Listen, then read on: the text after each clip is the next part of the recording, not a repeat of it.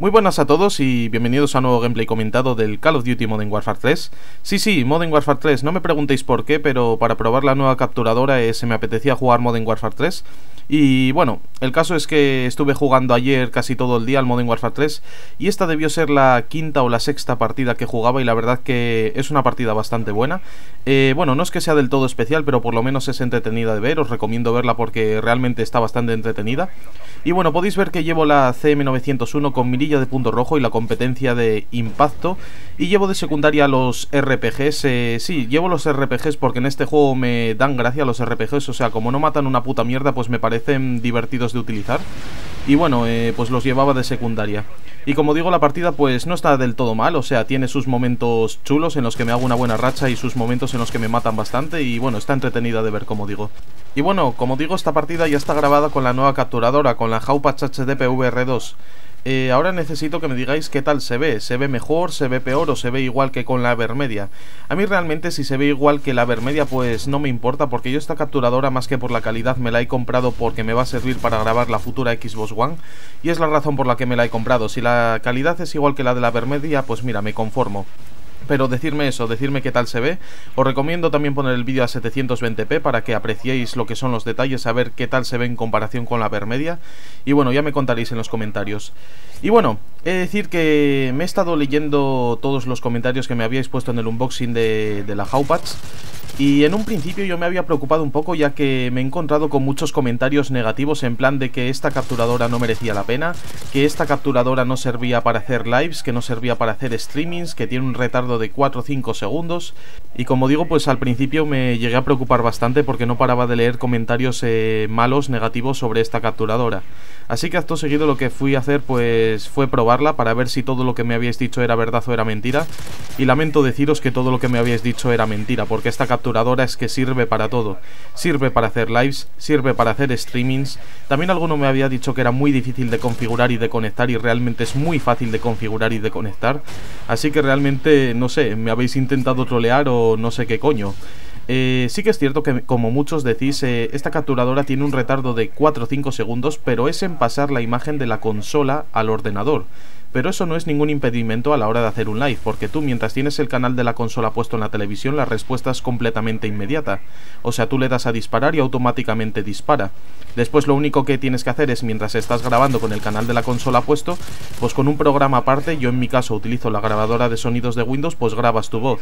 Después en el Sony Vegas se sincronizas lo que es el audio de tu voz con el volumen del juego y ya está, o sea, ya tienes el live hecho, es como lo hacía con la Vermedia y como lo voy a seguir haciendo hasta ahora. Y después, para hacer streamings, sí que es cierto que a lo mejor esta capturadora en un principio pues tenía bastantes dificultades a la hora de hacer un streaming porque lo que es la imagen, como digo, tarda en 5 segundos en pasar de la consola al ordenador y lo que tú estás comentando pues se comentaba en directo y había 5 segundos de descompensación con el audio y el vídeo. Pero no sé si lo sabéis, los de Howpatch han lanzado una nueva aplicación que si me acuerdo os la pondré en la descripción para los que tengáis esta capturadora a instalarla y es una aplicación que te permite añadir un micrófono a lo que es lo que tú estás grabando y ese micrófono también le va a poner un retardo de 4 o 5 segundos. De esta forma lo que es el audio y el vídeo va muy muy sincronizado y puedes hacer lives perfectamente y puedes hacer streamings perfectamente. Es muy sencillo, muy sencillo. Como digo, es una aplicación que han sacado nueva hace poco.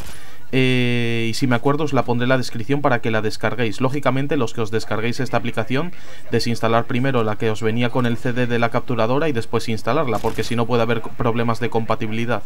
Y bueno, la aplicación es súper sencilla de utilizar, o sea, para que os hagáis una idea, la partida que estáis viendo ahora mismo de fondo está grabada con la configuración de serie que viene con el programa, lo único que he modificado han sido los directorios para guardar los vídeos y eh, la calidad que se la puse al máximo, o sea, es lo único que le he cambiado. El resto de configuraciones que vienen en el programa vienen por defecto. Y yo creo que podéis ver que pues la calidad para venir por defecto está de putísima madre como graba. Después es muy sencillo de utilizar, tiene varias pestañas para todo lo que queráis hacer. Podéis editar vídeos desde la propia aplicación, podéis subir los vídeos a YouTube desde la propia aplicación, podéis hacer los streamings, eh, podéis hacer de todo desde la aplicación, o sea, es una puta pasada. Como digo, os la dejaré en la descripción porque es una puta pasada Y para los que tengáis esta capturadora y hayáis tenido muchos problemas con ella, pues yo creo que os va a solucionar bastante las cosas, porque como digo, sirve para todo. Podéis añadir un micrófono a lo que es la partida que estáis jugando y comentando, para que eh, junto con el sonido del juego, pues también salga vuestra voz.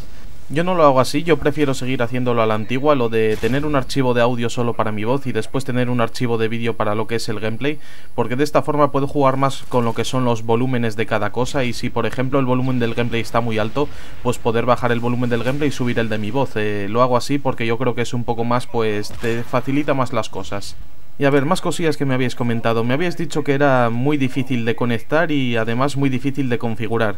Ya os digo que para nada, yo lo único que hice fue conectarla por HDMI a la Xbox, la conecté por HDMI al televisor, después la conecté por USB al ordenador, le descargué el programa que os voy a dejar en la descripción, ya me la detectó automáticamente y ya está, o sea, ya tengo ahí el botón de grabar y todo muy sencillo. El programa no le configuré nada, solamente le cambié los directorios, le puse la calidad a tope y ya está, o sea, ya está configurada, ya no necesita nada más, es súper sencillo. Y bueno, vamos a comentar un poco lo que son los pros y los contras de esta capturadora, que yo pues después de haberla utilizado ya durante algo de tiempo, ya puedo comentar un poco lo que son los pros y los contras. El único contra que le veo a esta capturadora, y os lo digo muy en serio, es que necesita un ordenador medianamente potente para funcionar bien. Es decir, si tenéis un ordenador que sea pues un ordenador portátil así poco potente o una torre que sea poco potente, pues esta capturadora a lo mejor no os sirve. No sé ahora mismo los requisitos mínimos que necesita para funcionar, pero ya os digo que son bastantes. Eh, supongo que si vais a la página de Howpatch y buscáis el producto HDPVR2, pues ahí os aparecerá lo que necesita. Pero ya os digo que necesita bastante. Y después eh, prácticamente todo lo que tiene son pros, o sea, por lo menos yo solo veo pros, porque como digo, eh, es bastante buena. De las capturadoras así por HDMI que sean buenas, pues es la más barata. Ya os digo que nueva cuesta unos 130-140. Eh, después tenéis así capturadoras similares, a lo mejor la Media Live Gamer Portable, pero ya os metéis en 170 euros. Y después el Gato Game Capture ya ni os cuento, que eso ya supera los 200 euros. Así que prácticamente de las capturadoras así HDMI buenas es la más económica y eso es un punto muy a favor porque tal y como están las cosas últimamente, yo creo que gastarse más de 150 euros en una capturadora es una puta burrada. Después, como digo, eh, es bastante pequeñita, es bastante ligera, los indicadores de LED son una pasada, o sea, tiene un color de LED para cada cosa que estás haciendo. Por ejemplo, cuando tienes el ordenador apagado no tiene ninguna luz, cuando tienes el ordenador encendido tiene una luz eh, azul clara. Eh, después cuando estás a punto de grabar tiene una luz amarilla y cuando estás grabando tiene una luz verde que ilumina todo, o sea, es una puta pasada. Ilumina toda la capturadora y prácticamente todo lo que tengas alrededor de la capturadora. A mí por lo menos me encanta. Y como digo, eh, me está encantando esta capturadora. Eh, para los que me vayáis a preguntar, que seguramente alguno no se haya visto el unboxing, yo me la he comprado de segunda mano por eBay. La verdad es que por eBay os podéis encontrar auténticos chollazos si buscáis bien. Y por lo que me había dicho el vendedor, pues estuvo un mes de exposición en una tienda de informática. Y yo, ¿qué queréis que os diga? Pues por un mes que ha estado, eh, me la he comprado. Y podéis ver que prácticamente funciona bien, aunque sea de segunda mano, porque como digo es que yo no tengo dinero para permitirme una capturadora nueva, la he tenido que comprar de segunda mano sí o sí. Y es lo que os recomiendo a vosotros, o sea, vosotros si no tenéis mucho dinero, pues buscar ofertas por eBay o por Amazon, a lo mejor también tenéis alguna buena oferta por ahí. O si no, intentar que algún amigo que a lo mejor la tenga os la deje más barata. Eh, porque como digo, las capturadoras eh, son muy caras, o sea, si queréis que sean HDMI buenas son muy caras y no está la cosa para andar derrochando el dinero.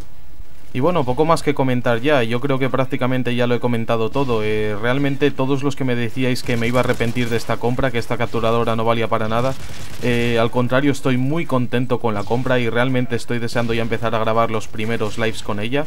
Empezar a grabar un poco de Road to Golbalista y a lo mejor si os portáis un poco bien, a lo mejor grabo por ahí algún capítulo de Road to Guarro de Mierda. Eso ya depende de cómo os comportéis vosotros eh, a la hora de puntuar los vídeos, ya veré. Y bueno, como digo, pues estoy muy contento.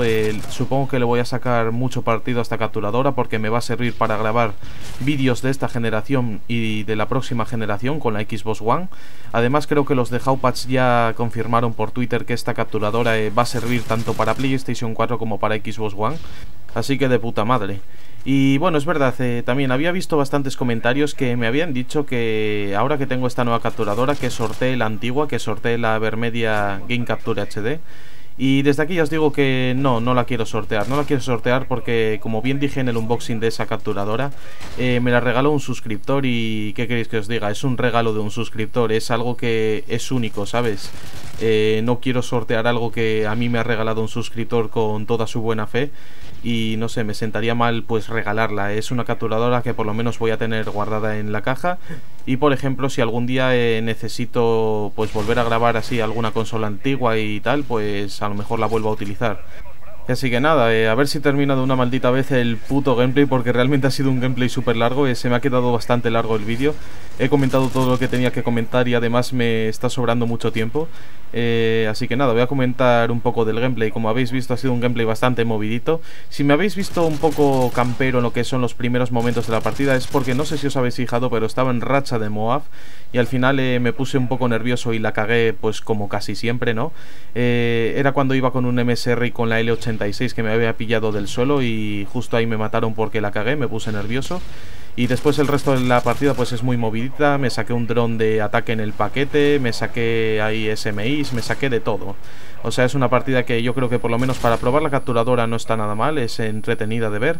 Y se está a punto de terminar por aquí, ahí está, que al final termino un 37-7 creo que termino, no lo veo muy bien en el Sony Vegas. Y así que nada, espero que os haya gustado este vídeo, que os haya servido el programa que os voy a dejar en la descripción a los que tengáis esta capturadora y que hayáis entendido todo lo que he dicho. Eh, así que nada, espero que os haya gustado, que me digáis en los comentarios cómo se ve y nos vemos en el próximo vídeo. Hasta la próxima.